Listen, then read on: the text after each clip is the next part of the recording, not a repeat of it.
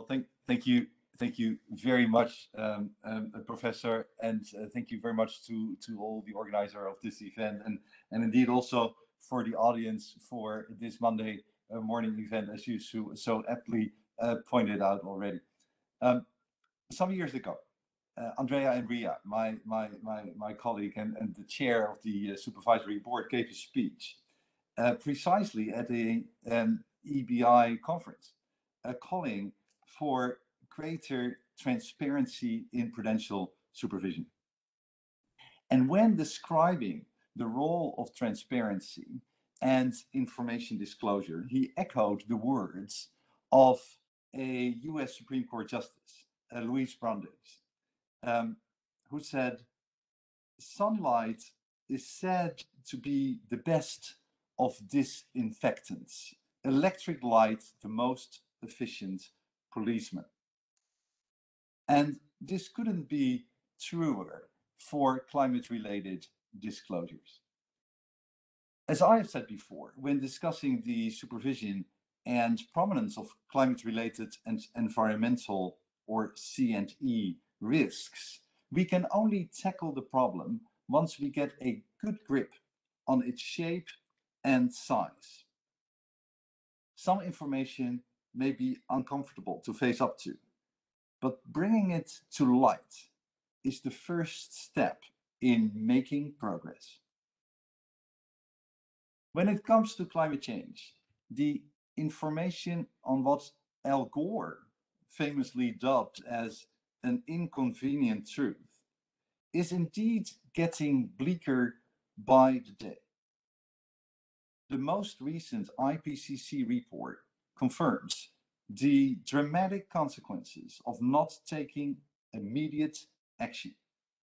Additional global warming of up to 1.5 degrees Celsius in the near term would increase climate hazards and present numerous risks to ecosystems and human society.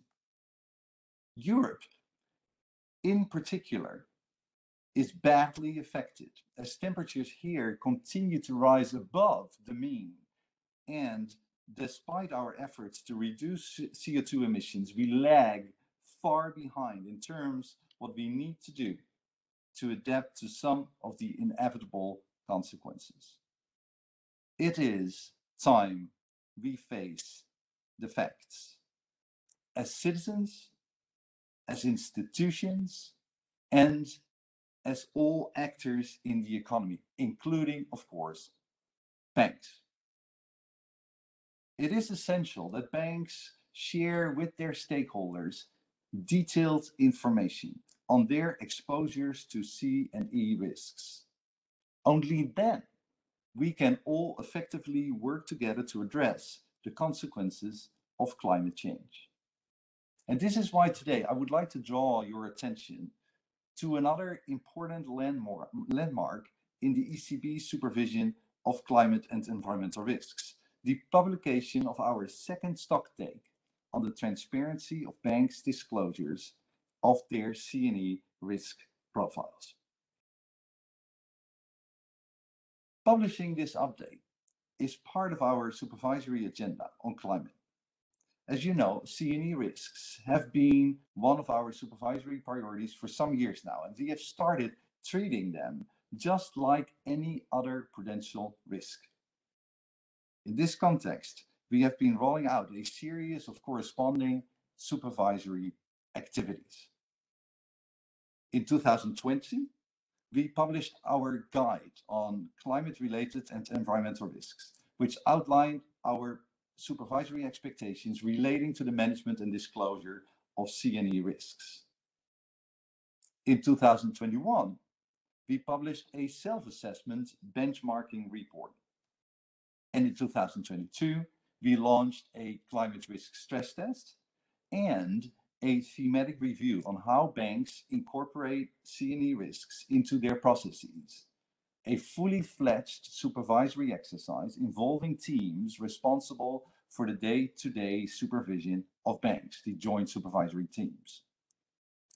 And at the same time, we are gradually integrating C&E risks into our regular supervisory methodology, and how banks manage these risks will ultimately impact their Pillar 2 capital requirements.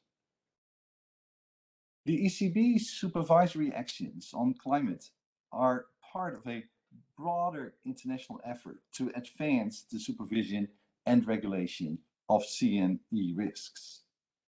At a global level, the Basel Committee on Banking Supervision recently concluded a public consultation on draft supervisory principles for the prudential treatment of climate-related risks, and the input they received is now being reviewed with the aim of finalizing these supervisory principles. This is part of a broader work plan of the, of the Basel Committee to evaluate how to consider climate-related financial risks in all pillars of the Basel framework, supervision, regulation, and the topic of the ECB report that is published this morning, disclosures. There is growing international awareness of the great value of transparent disclosures. Disclosures that are clear and easy to understand tend to benefit any company, banks included. Generally, companies have strong incentives to publish frank and meaningful disclosures because transparency is usually rewarded by investors. It helps reduce uncertainty and allows all interested parties to feel that they are making safe investments based on trustworthy data. This is particularly true for climate-related and environmental risks. As the materiality of physical and transition risks increases by the day, investors are on the lookout for those companies that proactively take these risks into account in their daily operations and across all their activities. One of the essential functions of financial markets is to price risk and thus support informed and efficient capital allocation decisions. The accurate and timely disclosure of current and past operating and financial results is central to that function. And to make it more concrete, the more transparent banks are about their C&E risk profiles and their concrete efforts to align their portfolios with the Paris Agreement, the easier it is for market participants to compare banks, to reward those which are taking the necessary, the necessary steps to adopt risk management practices aligned with a carbon neutral economy, and to re-evaluate those with misaligned trajectories. Transparent disclosures also create a certain level of peer and stakeholder pressure, which is essential to making companies properly manage these risks. Investors and asset managers are seeking to develop and market portfolios that are aligned with the sustainable objectives of their clients. As such, they are becoming increasingly demanding about corporate C&E disclosures. Banks' own shareholders are becoming increasingly demanding too, especially concerning banks that have publicly committed to achieving net zero targets. In fact, failure to disclose meaningful follow-up information on their climate commitments has actually already led to significant litigation and given rise to heightened reputational and legal risks for some banks. Recent regulatory and legislative initiatives reflect growing international awareness of the great value of transparent disclosures on C&E risks. In Europe, large banks will have to disclose climate-related information under the European Banking Authority's comprehensive implementing technical standards. They will have to already do so by early 2023, referencing data from the end of 2022. And the information requested from banks includes qualitative and quantitative information on environmental, social, and governance risks, as well as indicators such as alignment metrics, and the green asset ratio, thus significantly raising the bar in terms of C&E risk reporting.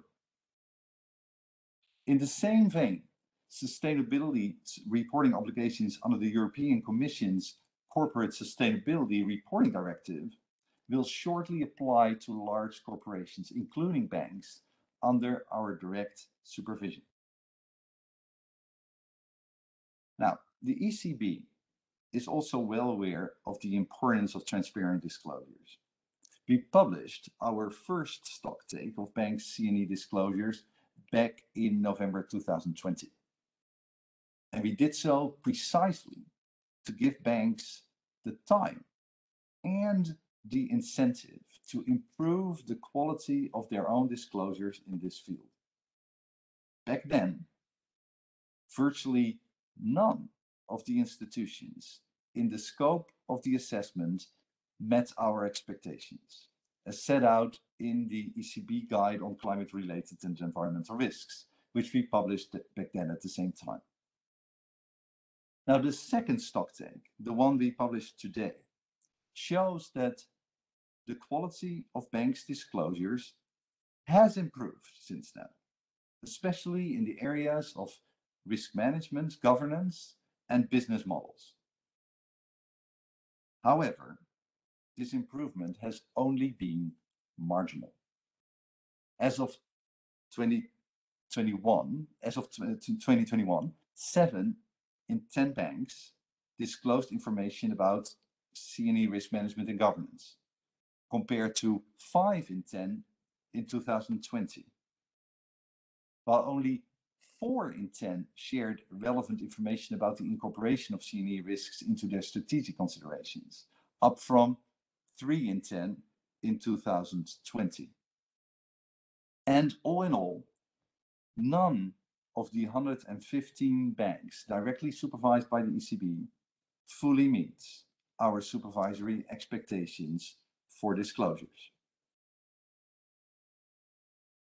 Now, there is very little justification for this lack of substantial progress, particularly considering the vast amount and quality of climate-related data, tools, and information shared by different international and European organizations and institutions in recent years.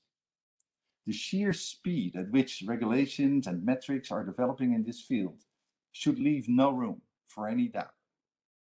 Addressing climate-related and environmental risks and publishing good quality disclosures is not and must do much better to improve the quality of their disclosures, and they need to do so quickly. However, we see a considerable disconnect between banks' perception of the importance of C&E risks as communicated to us, the supervisor, and what banks choose to publicly disclose. Banks are trying to compensate for the poor quality of their disclosures by issuing a great volume of information around green topics. And we end up with a lot of white, no white noise and no real substance on what both markets and supervisors really want to know. How exposed is a bank to C&E risks and what is, it, what, what is it doing to manage that exposure? It is, of course, relevant for banks to, to publicize their efforts to, for example, reduce the electricity consumption of their branches. However, it would, of course, be much more significant if they were to announce how they are steering their activities towards risk management practices that are aligned with a carbon neutral economy. Looking at the world through green colored glasses is not quite the same as a sound management of all material C&E risks. We also observe a lack of concrete detail in how banks substantiate their climate-related and environmental metrics and targets. For example, when reporting on their commitment to align with the Paris Agreement, only around one in five institutions disclose the methodologies, definitions, and criteria for all of the figures, metrics, and targets reported as material. More than one third of institutions do not disclose these aspects at all. And in light of the increasing importance of such commitments, interested parties will increasingly seek information on these alignment metrics, and banks' disclosures must become meaningful in this regard. Now, there are best practices. Like many other institutions and agencies, the ECB is committed to sharing the best practices that we have found across the industry. Not only do they serve as inspiration for banks who need to catch up, they also show that the ECB's expectations can, in fact, be met. For example, one of the banks under our direct supervision published its own climate strategy which aims at achieving net zero emissions for its lending portfolio by 2050 or sooner. In tandem with a number of interim targets and related metrics, as well as the progress made in meeting them. For each of these targets and metrics, the bank discloses the sectors covered, the underlying methodology, and the scenarios used to draw up benchmarks. For the methodologies and scenarios, it reports on the options it, it chose, the data sources it used, and the changes is made with respect to the previous disclosure. Another example of a good practice or a best practice, another bank endeavored to align its portfolios with science-based transition pathways, including technology pathways originating from the International Energy Agency's Net Zero by 2050 report. The bank disclosed dash dashboards that display the performance of its loan books in various transition sectors, such as power generation, oil and gas, automotive, steel, cement, and real estate, against a science-based transition pathway. It also disclosed the precise indicators used, the underlying methodologies, and the reference scenarios for each indicator. For each of the indicators, the bank then disclosed its current and projected performance against the pathway and the set associated targets. Importantly, many of the banks raising the bar in C&E disclosures are small and medium-sized, showing that remarkable progress is achievable by all. Now, let me now outline the next steps that ECB plans to take, that the ECB plans to take to follow up on the results of our assessment of banks' C&E disclosures. What we have done is send individual feedback letters to all banks under our direct supervision, setting out the key gaps in their disclosures and conveying our explicit expectation that they will take decisive action to address these gaps. In doing so, the banks will ultimately ensure that their risk profile is transparently and comprehensively reflected in the information that they disclose to the public. Addressing such gaps will also mean banks are well prepared to meet impending technical requirements.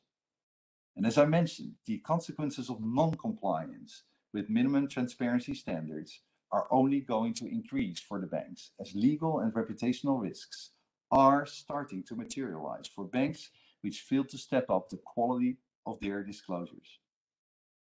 More and more clients, investors, and other market participants want meaningful and comprehensive information on the climate related actions of their banks. And that way, they can make conscious informed decisions about where their money goes. Moreover, failing to disclose exposure to risks, including C&E risks, constitutes a breach of the capital requirements regulation.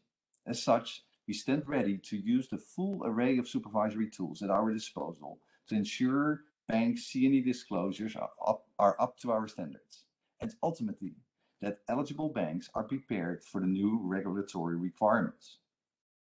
The ECB, in addition, publishes a yearly report on banks' Pillar 3 disclosures, where we also have the option to publicly list those banks which repeatedly fail to disclose their C&E risks. In view of the poor results shown by our stock take, and to assess the extent to which the banks address individual feedback, C&E risk disclosures will continue to feature prominently in the ECB supervision. And we will assess bank C&E disclosures again at the end of 2022, and we expect to see major progress by then. Let me conclude.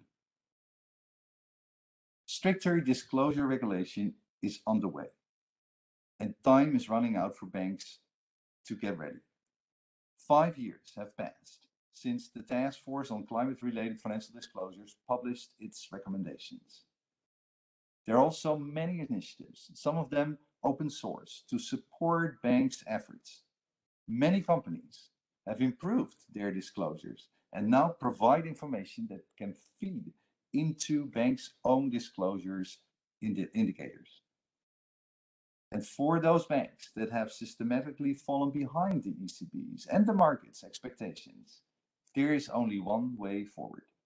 It is time for banks to be transparent and comprehensive with their C&E disclosures, so that by bringing them to light, we can progress from an inconvenient truth towards a desirable, a much desirable outcome for us and for all future generations. So let me end where I started. The first step to coming to grips with any inconvenient truth is full disclosure. Thank you. Thank you very much, Frank, for this very interesting presentation with the, a strong demand by the ECB for a higher level of disclosure by the banks.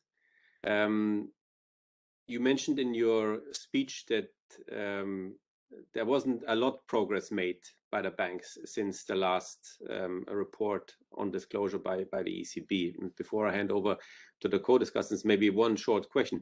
Do you have any um, view why the banks have not made progress in the way that you hoped for or expected it to be? Is it uh, because they are busy with so many other topics or is just C&E risk not on, on the right level of priority for them so far? Do you have any any view which you're getting out of your, your feedback from the banks?